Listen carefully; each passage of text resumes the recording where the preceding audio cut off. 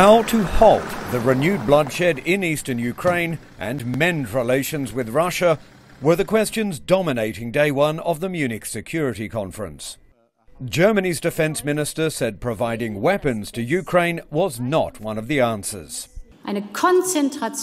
Focusing only on the delivery of weapons can add fuel to the fire and move us away from a desirable solution.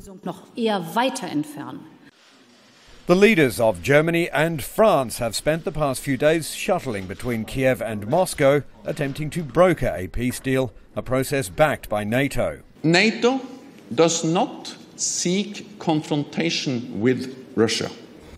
US Secretary of State John Kerry arrived to join Vice President Joe Biden and engage in what appears to be a growing push for a breakthrough on Ukraine on the sidelines of the conference. On Saturday, Ukraine's President Petro Poroshenko is expected to hold face to face talks here with Germany's Chancellor Angela Merkel, as well as the head of NATO and Russia's foreign minister.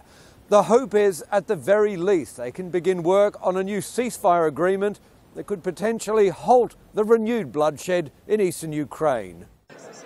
But the lack of a coherent response to that crisis and challenges elsewhere, like the rise of the Islamic State group ISIL, has also fueled much debate in Munich. Is this a, a matter of people failing to follow the rules of the global order, the fundamental principles upon which we've tried to build a, a global security and peace architecture, or is it a function of uh, failure of leadership? Is, uh, are the, uh, the main players no longer leading it, in particular the United States?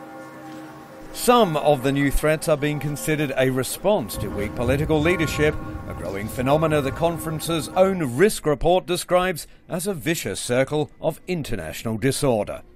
Jack Barton, CCTV, Munich.